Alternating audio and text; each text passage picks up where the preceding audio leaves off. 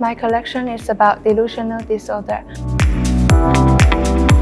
By exploring the role of the sensory perception in the patient's world, individual freedom and autonomy, as well as anxiety and trauma, I find that people escape from the cruel reality through their imagination.